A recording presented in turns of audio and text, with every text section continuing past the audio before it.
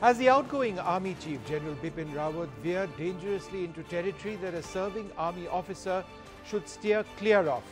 Were his remarks on the protests following the Citizenship Amendment Act the most deeply political issue in the country correct to have made? What do the Army rules say about this? And more than just the rules, what about India's armed forces maintaining a fierce neutrality on all issues that are not a part of their area of concern? On the 31st of this month, General Bipin Rawat retires as Army Chief. He is tipped to become the Chief of India of India's Def, uh, Defence Staff, the Chief of Defence Staff. That would be India's first CDS. But that announcement has inexplicably been delayed. Is the government delaying its decision till the last moment, or is there a change of heart? Particularly since the post of CDS was notified by the Cabinet Committee on Security earlier this week. So Bipin Rawat in the news for all sorts of reasons. We've got a fantastic panel with us to look at this issue. Uh, Admiral Lakshmi Narayan Ramdas, the former Navy chief, joins us. Major General Sudhir uh, Vombatkere, the ex-Additional Director General of Discipline and Vigilance in the Indian Army. Lieutenant General Raj Kadyan, the former Deputy Chief of the Army, and Colonel Ajay Shukla, uh, my former colleague, with us as well. Before we go across to discuss this, let's just listen in to what the Army Chief had to say. Leaders are not those who lead people in, in, inappropriate, in un, inappropriate directions, as we are witnessing in a large number of university and college students, the way they are leading masses of crowds to carry out arson and violence in our cities and towns.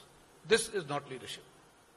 A leader is one person who, who leads you in the correct direction. Well, let me go straight across to Admiral Ramdas first. Um, Admiral, what sort of precedent do these remarks by the Army Chief make?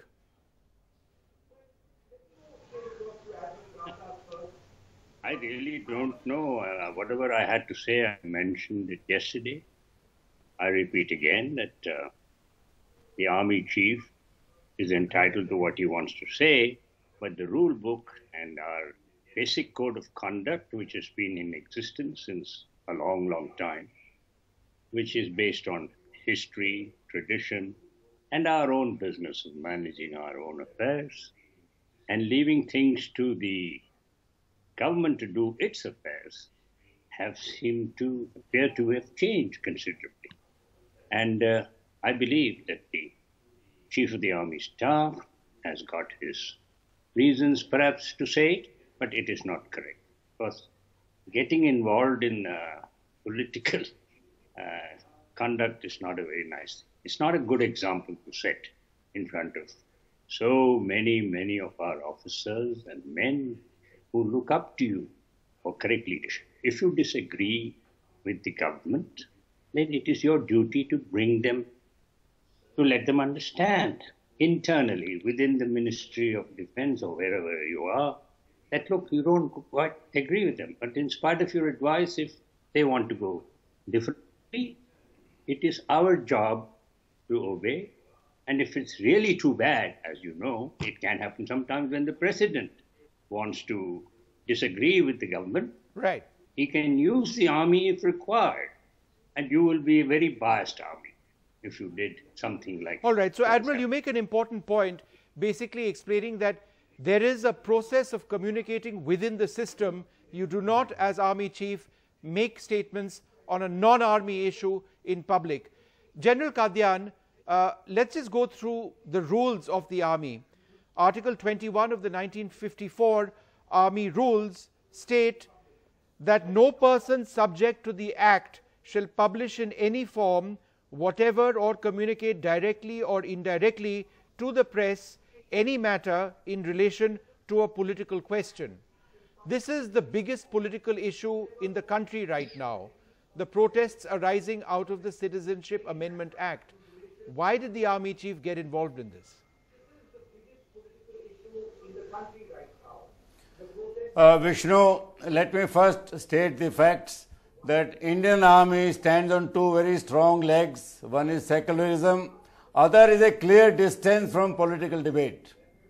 And the rules are very clear. No officer in uniform is supposed to or is allowed to make any comments in public on a subject that is political in nature. Army spokesperson has since denied that General Rawat did not mention the CAA, while that is true.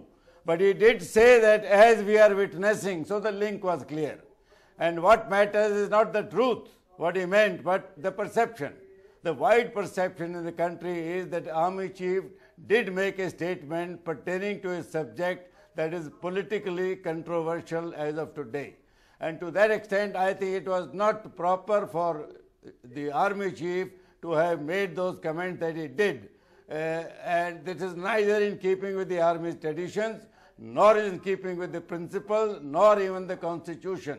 It's not a right thing for an Army Chief to make a comment that uh, purported to be supporting the present government, okay. then people will ascribe any motive to it, which is unfortunate. I don't think he had any motive. Maybe out of his exuberance, he was talking to the youth. He passed this remark, but it was best avoided.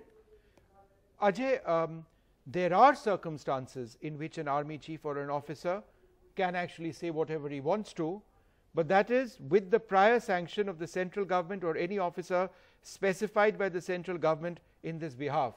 Is there reason to believe that the army chief could in fact have been authorized to make these remarks? No, there's no reason to believe that because yesterday the story that I did for Business Standard, I asked the army spokesperson whether he had obtained permission or whether central government uh, permission had been granted. And the answer I got was no. There was no permission from the central government. Uh, nor does the army chief require permission because he was not speaking on a political issue, he was speaking on leadership. Now, it takes a very naive outlook to see uh, the ongoing protests as an issue of leadership rather than one of, of uh, you know, uh, uh, an overtly political question. It is, as you just brought out, the biggest political question of the day. So, the question that then arises is uh, did the army chief speak on his own, uh, of his own volition, or was he asked by somebody to speak? And either way, it doesn't make the army chief look good because if he spoke on his own, that amounts to the army meddling in politics, which, as General Kadyan said, is completely contrary to the ethos of the army. And if somebody told him, then it amounts to politicization of the army. Right. So it's it, either way, it, it doesn't look good. And General Rawat is a thinking general. He's a in, highly intelligent uh, person. I'm, I'm just surprised that something like this could happen. Um, Major General Vombatkere, um, uh, General Rawat is uh, is is supposed to become is is not if not supposed then is likely to become India's first chief of defence staff. His name has been spoken about more than anybody else. Yes, the government has pulled surprises in the past uh, in terms of top level appointments, including General Rawat's own selection as army chief. But these remarks, uh, some would say, couldn't have come at a worse time for General Rawat, uh, you know, ahead of him possibly becoming India's first chief of defence staff. Would you agree?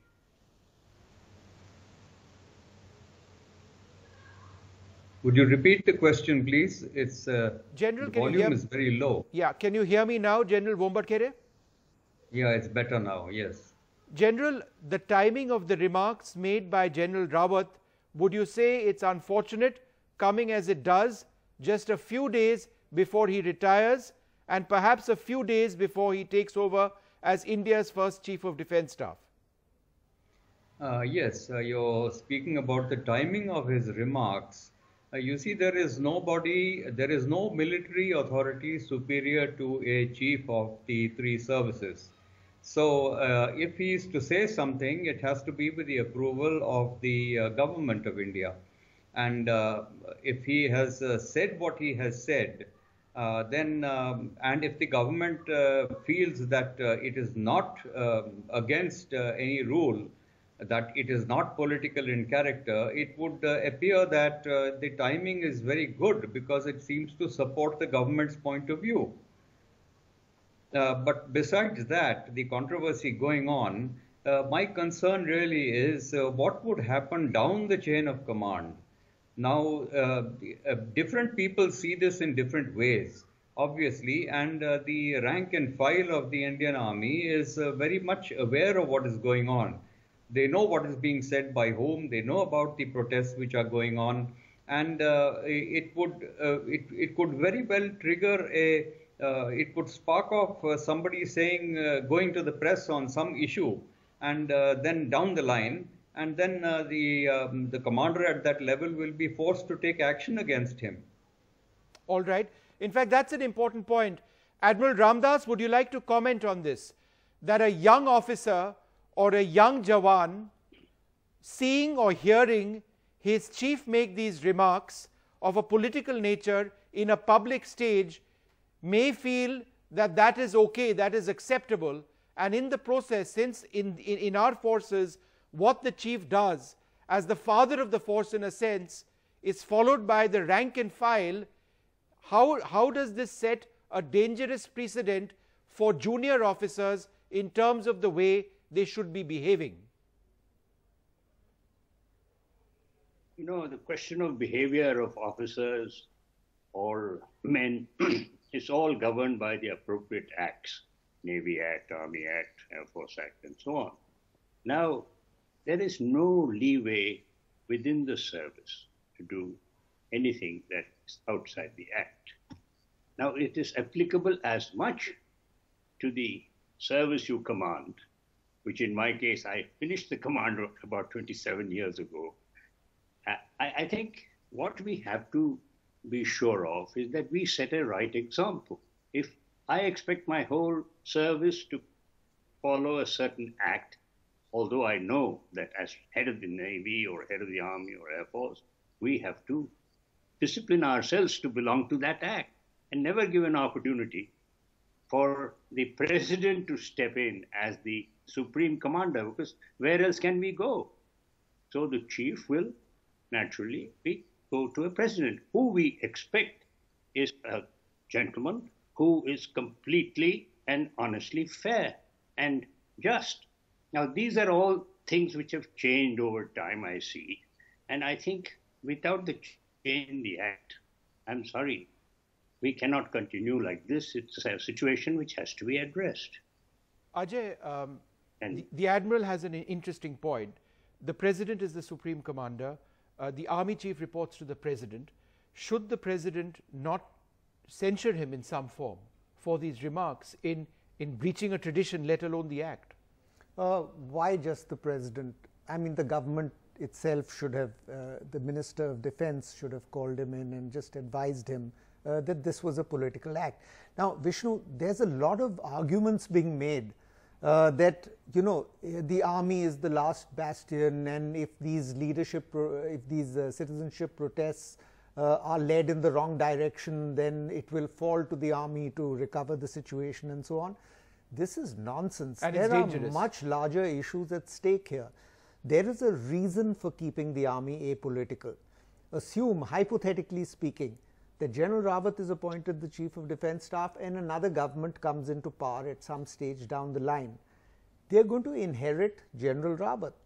Do they want or do we want as a country to have a Chief of Army Staff where the government views him suspiciously with having uh, you know obtained a political taint at some stage early no these institutions have to be kept above the hurly burly of day to day politics and the reason is that whichever government comes to power they should be happy with their army chief. Okay. General Vombat uh, General uh, Rawat is not the first person in recent times, in, in fact the last week or so, to be making these remarks. The Eastern Army commander also made a few remarks uh, which were controversial. Uh, he, he, he, spoke about possible hard decisions against, uh, against left-wing uh, protesters or individuals as a step the government may soon take. So um, is this something which is already becoming a bit of a pattern? Uh, yes, and I think the pattern uh, did not start with the Eastern Army commander making his remarks. It is uh, much earlier, it's about one or two years earlier when we have seen chiefs, uh, service chiefs, uh, making remarks which are clearly political. Uh, whether it's about what's about domestic politics or about international politics, they are still politically colored remarks. And um, uh, the uh, the Eastern Army commander has the chief of army staff, who is the superior military authority. And if the superior military authority does not think that the chief, uh, that the Eastern Army commander has made some remark which violates Article uh, Section um, 21 of the Army rules, then uh, there is uh, no way to go. It seems to be uh, percolating all over. All right, it seems to be uh, percolating all over. So that's a, a cause of concern. Uh, General Kadyan, uh, the, the statement, or think it is largely source based from the army itself, saying that the army chief didn't make a political remark, uh, he didn't use the, the letter CAA. Wouldn't you say that this explanation was rather disingenuous? Vishnu, as I said earlier, what matters is the perception and not what, what he actually intended to convey. And the perception is that his remark had a political connotation. That is unfortunate. Uh, the other point that came up, which I would like to comment, is that should should, should we assume that General Rawat's remarks was timed uh, so that he could curry government favor to become a CDS? I think that is an unfair assessment because government has seen his work for the last three years and his contribution to the national security has been enormous. I don't think the government will change its mind in the last three days just because of one remark. So that may not be a fair assessment, but yes, you mentioned Army commander, the change of trend starts from the top. If the senior commanders start meddling into politics, then it will pass down the line and it is very dangerous not only for the army but also for the country. We have seen examples in the neighborhood when the armies get politicized, what can happen. Uh, we are the same human beings, so let us keep the army totally insulated. Let this controversy now rest and not be debated anymore. Yeah. Ajay, one final question to you. Um, there are circumstances in which several armed forces chiefs have spoken when it comes to Pakistan, politics over there and how it fuels terrorism, for example. All service chiefs for, for the last decade plus I can recall at, some stage or the other made repeated statements. So when you look at this 1954 Army rules, it actually says that you can't say anything uh, linked to politics, right? But then there are circumstances in which we accept remarks by army leaders, for example, in the context of Pakistan. Yeah, Vishnu, that's a very important point you're making. It's a code of conduct that is instilled into every army officer from the time he joins and it's a part of the institution. And when the institution sees it beginning to get diluted, and it's diluted from the top initially in acceptable ways, like saying the Pakistan government is given right. to supporting uh, terrorism and so on. And then there's a creeping sort of, uh, it becomes okay after some time to speak about Pakistan. Then after some time you will find it becomes okay to speak about leadership issues in, and street violence in India. And then before you can say Jack Robinson, it's starting to become uh, acceptable to talk about. So all it should all be stopped is what you're saying. It's a slow creeping erosion no, but, but, but of values that has Ajay, to be stopped. Shouldn't the army chief, he's fighting a war in, in, on the line of control virtually. Should he not be in a position to say this is wrong what's happening, terrorists coming in, they're fueled by the state? That's a political remark.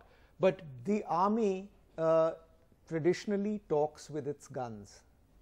The chief does not need to say we will stop terrorists, we will fight, we will retaliate against Pakistani posts.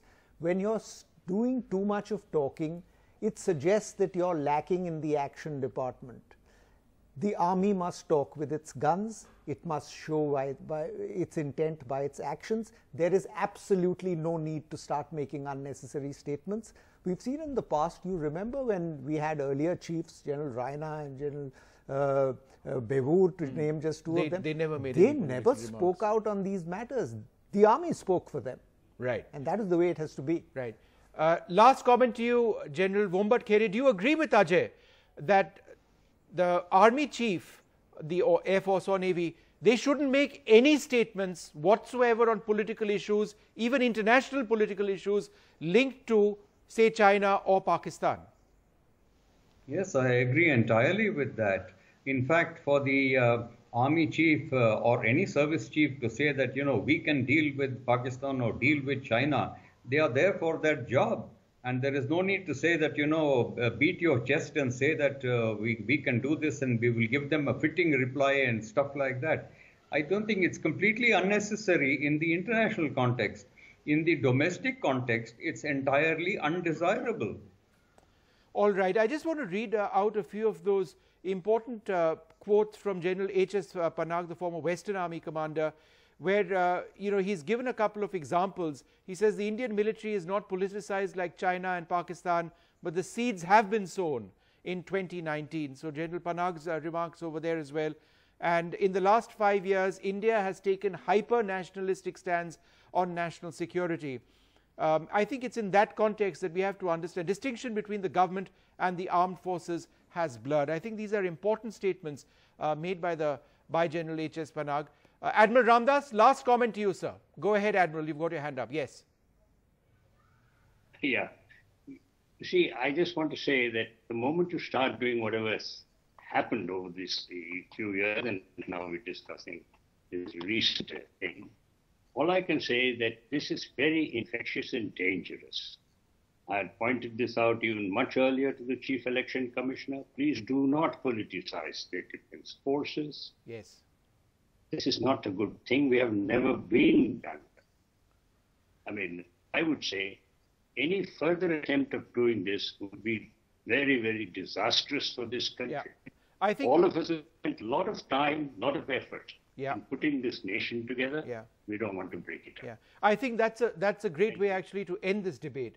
That our political leaders also need to ensure that they don't politicize the armed forces.